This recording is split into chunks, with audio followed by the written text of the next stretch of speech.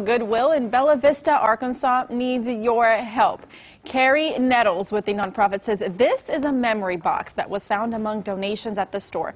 They believe it belongs to a family who lost a child. There is a date on the box, 112301.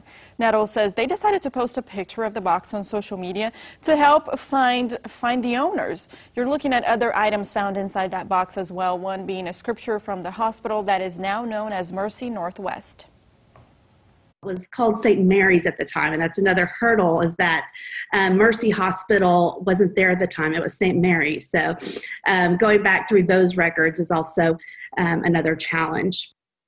If you happen to know who this box belongs to, send an email to marketing at goodwill ar for Arkansas goodwillar.org.